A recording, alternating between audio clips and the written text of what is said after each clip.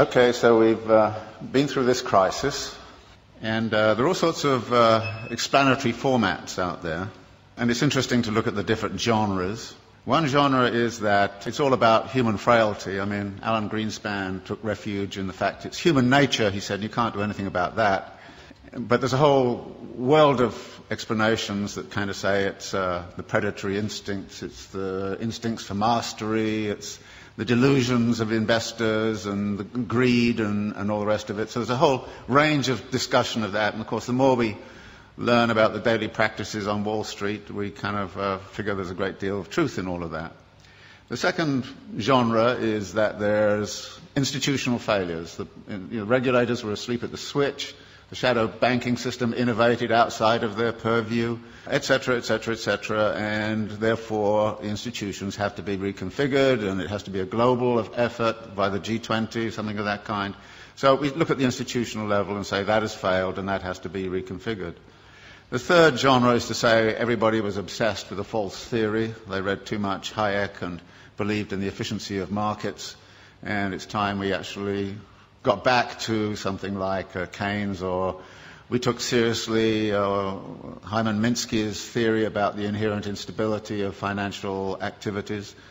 The next uh, genre is that this is, it has cultural origins.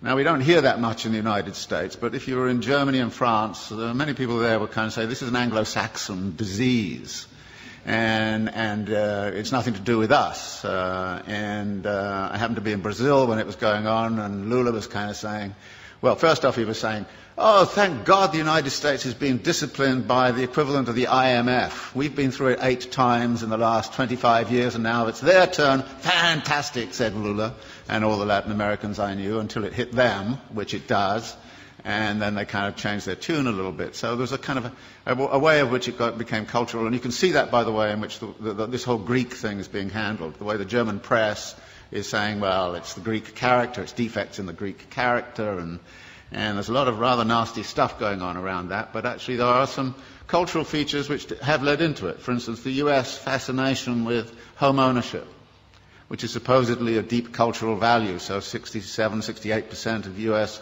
households are homeowners. It's only 22% in Switzerland. Of course, it's a cultural value in the United States that's been supported by the mortgage interest tax deduction, which is a huge subsidy. Uh, it's been promoted since the 1930s. Very explicitly in the 1930s, it was built up because the theory was that debt encumbered homeowners don't go on strike. And then there's a kind of notion that there's a failure of policy and that policy has actually intervened. And there's a funny kind of alliance emerging between the Glenn Beck wing of uh, Fox News and the World Bank, both of whom say the problem is too much regulation of the wrong sort. So there are all of these, all of these ways, and all of them have a certain truth. And skilled writers will take one or other of those perspectives and build a story and, and actually write a very plausible kind of story about this. And I thought to myself, well, what kind of plausible story can I write which is none of the above? Uh, which is one of the things I always think to myself. And it's not hard to do, particularly if you're coming from a Marxist perspective, because, you know, there aren't many people who try to do this analysis from a Marxist perspective. And I was really, really clued into this by, by this uh, uh, thing that happened at the London School of Economics uh, about a year and a half ago when Her Majesty the Queen asked the economists, how come you guys didn't see this thing coming? I mean, she didn't say it exactly that way, but, you know, it's just the sentiment. And, and they got very upset, and then she actually called the Bank of, Governor of the Bank of England and said, how come you didn't see it coming? And, and, and then the British Academy put forward this, got all together, all these economists, and they came up with this fabulous letter to Her Majesty. And it was, an, an, an, it was, it was absolutely astonishing. It said, well, you know, many dedicated people, intelligent, smart, uh, spent their lives working on aspects of this thing very, very seriously, but the one thing we missed was systemic risk. And you say, what? And then it went on to talk about a politics of denial and all the rest of it. So I thought, well, you know, systemic risk, you know, I can translate it into the Marxian thing. You're talking about the internal contradictions of capital accumulation. And maybe I should write a thing about the internal contradictions of capital accumulation and try to figure out the role of crises in the whole history of capitalism and what's specific and special about the crisis this time around. And there were two ways in which I thought I would do that. One was to sort of look at what's happened since 1970s to now. And the thesis there is that in many ways the form of this current crisis is dictated very much by the way we came out of the last one. that the problem back in the 1970s was excessive power of labour in relationship to capital. That therefore the way out of the crisis last time was to discipline labour. And we know how that was done. It was done by offshoring. It was done by, you know, Thatcher and Reagan. And it was done by neoliberal doctrine. It was done all kinds of different ways.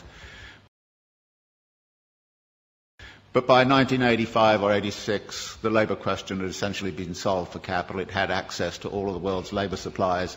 Nobody in this particular instance has cited greedy unions as the root of the crisis. Nobody in this instance is saying it has anything to do with, with excessive power of labour. If anything, it's the excessive power of capital, and in particular the excessive power of finance capital, which is the root of the problem. Now, how did that happen? Well, We've been since the 1970s in a phase of what we call wage repression. That wages have been remained stagnant. The share of wages in national income right throughout the OECD countries has, has steadily fallen. It's even steadily fallen in China, of all places. So that there are less and less being paid out in wages. Well, wages turn out to be also the money which buys goods. So if you diminish wages, then you've got a problem with where's your demand going to come from? And the answer was, well, get out your credit cards. We'll give everybody credit cards. So we'll overcome, if you like, the problem of effective demand by actually pumping up the credit economy. And American households, British households have all roughly tripled their debt over the last 20, 30 years. And a vast amount of that debt, of course, has been in, in, within uh, the housing market. And, and, out of this comes a, theory which is very, very important that, that capitalism never solves its crisis problems it moves them around geographically. And what we're seeing right now is a geographical movement of that. Everybody says, well, okay, everything's beginning to recover in the United States, and then Greece goes bang, and everybody says, what about the pigs, you know?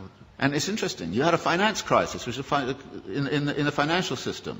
You've sort of half solved that, but at the expense, expense of a sovereign debt crisis.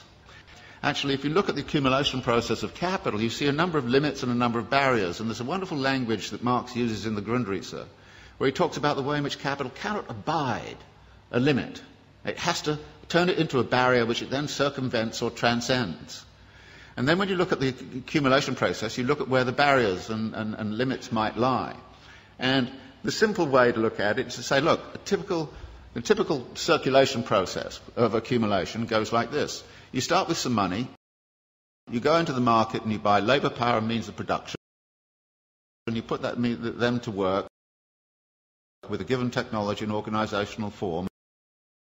You create a commodity which you then sell for the original money plus a profit. Now, you then take part of the profit and you recapitalise it into an expansion for very interesting reasons. There are two things about this. One is there are a number of barrier points in here. How is the money got together in the right place at the right time in the right, in the right volume? And that takes financial ingenuity. So the whole history of capitalism has been about financial innovation. And financial innovation has the effect of also empowering the financiers. And the excessive power of the financiers can sometimes, they, get, they do get greedy, no question about it. And if you look at financial profits in the United States, they were soaring after 1990. They're going up like this. Profits in manufacturing were coming down like this. And you could see the imbalance. In this country, I think the way in which this country has sided with the City of London against British manufacturing since the 1950s onwards has had very serious implications for the economy of this country. You've actually screwed industry in order to keep, you know, financiers uh, happy. Any sensible person right now would join an anti-capitalist organisation. And, and you have to.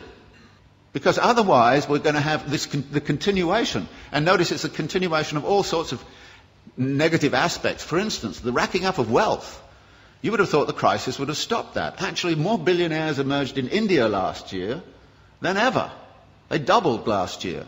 The wealth of the, rich, I just read something this morning, uh, in this country has, has, has accelerated. Just two years, just last year, what happened was the main, leading hedge fund owners got personal remunerations of $3 billion each in one year.